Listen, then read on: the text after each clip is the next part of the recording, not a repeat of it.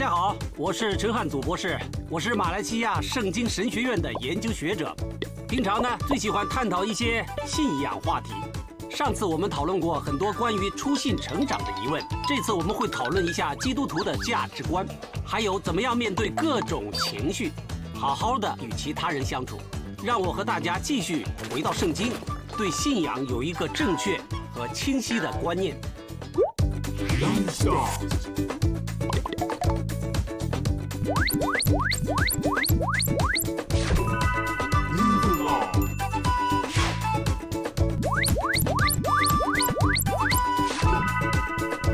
HP。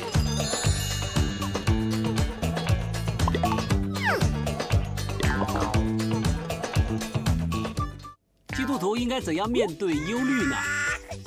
基督徒有忧虑有恐惧，也不要被人知道啊。他们说信耶稣的人是不可以忧虑的，万一有忧虑，就是对上帝没信心，羞辱上帝的名字。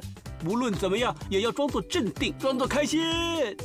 基督徒并不是不可以忧虑害怕，我们也不需要装开心。其实我们应该勇敢地面对自己的情绪问题，承认有时候我们也会软弱。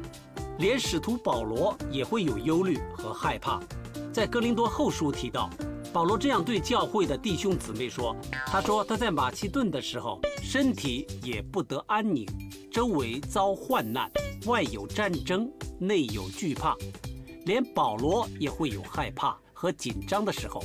可是保罗就继续说：他说那个安慰丧气之人的上帝，派了提多去安慰他。”所以保罗虽然会害怕，但是他知道上帝会安慰他的。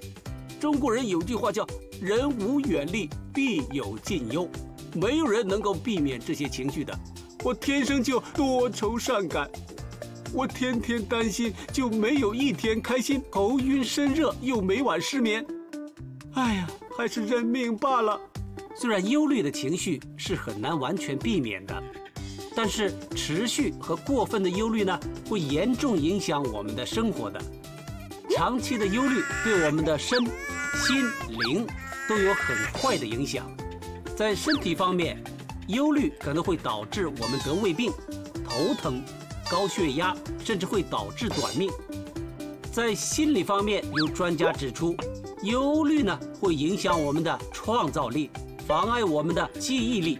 思考能力，甚至还会患上忧郁症。忧虑也会影响我们的灵性生命。主耶稣在马太福音十三章二十二节，他说：“一个人听了道，可是如果有很多世上的思虑呢，就会影响他，他就没有办法结出果子，因为那道呢会塞住的。所以，如果我们有忧虑的情绪呢，是一定要去处理它的。”啊，美国有一只牛禽流感死掉了。这样下去，那全世界的牛不就快死光了吗？没有牛就没有牛油了，没有牛油就没有我最喜欢吃的菠萝油了，这怎么办呢？我都明白你现在的心情，不过主耶稣教导我们，不要为明天忧虑，因为明天自有明天的忧虑，一天的难处一天当就够了。很多时候，我们人的忧虑、担心都是未来可能会发生的事情。可是因为我们过分担心未来了，我们反而没办法享受现在的生活。其实，如果我们要减少忧虑，最重要的呢，就是我们要把注意力由未来转到现在。我们只是要关心今天怎么处理我们正在面对的问题，不需要太担心未来的事情，因为每一天都有新的难处和挑战。但是每一天也都有上帝新的恩典的，耶利米哀歌三章二十二至二十三节，我们不致消灭，是出于耶和华诸般的慈爱，全因他的怜悯不致断绝，每早晨这都是新的，你的诚实极其广大，上帝的恩典在每一天都是新的，上帝的慈爱也都是永不断绝的。所以，当明天变成今天的时候，我们就会看到上帝新的恩典，帮助我们面对新的一天。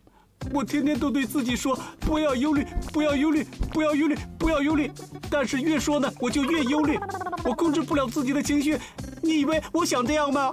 保罗说：“不要忧虑，一无挂虑，不代表我们要强迫自己不要挂虑，而是当我们有忧虑的时候呢，我们要把它变成一种祷告，交托给上帝。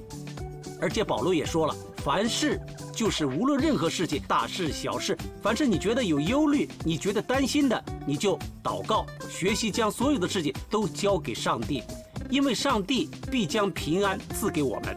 彼得前书五章七节，你们要将一切的忧虑卸给上帝，因为他顾念你们。我们的上帝是顾念我们的上帝，我们可以将一切的忧虑，所有的忧虑全部交给他。丢给他，他会帮我们负责的。当我们忧虑的时候，我们要来到上帝的面前祷告。在祷告的时候呢，也会提醒我们，原来我们并不是自己一个人去面对所有的问题。我们有一个上帝，他爱我们，他顾念我们，他会和我们一起去面对我们人生中所有的问题。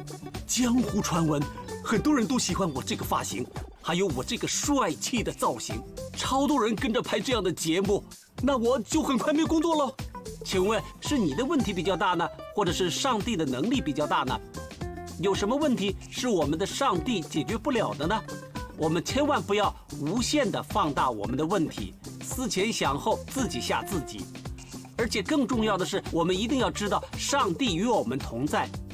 以赛亚书四十一章第十节：你不要害怕，因为我与你同在；不要惊慌。因为我是你的神，我必兼顾你，我必帮助你，我必用我公义的右手扶持你。上帝与我们同在，我们就没有什么好害怕。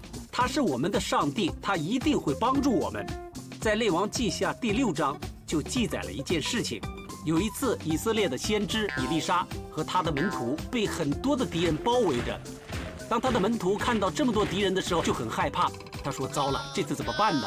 但伊丽莎对他说：“不用害怕，因为与我们同在的比与他们同在的更多。”伊丽莎就为这位少年祷告，求上帝开他属灵的眼睛。伊丽莎祷告之后，这一位少年人他的眼睛打开了，他的属灵眼睛看到什么呢？看到满山都是火车火马，包围着他们，保护着他们。今天，当我们面对我们生命很多的挑战和困难的时候，我们都要向上帝祷告。求上帝打开我们的信心的眼睛，让我们看到，不再是面前的问题和困境，而是上帝的同在和上帝的能力。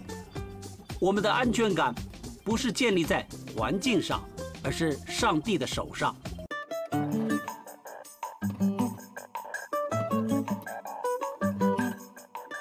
约翰福音十四章二十七节：我留下平安给你们。我将我的平安赐给你们，我所赐的不像世人所赐的，你们心里不要忧愁，也不要胆怯。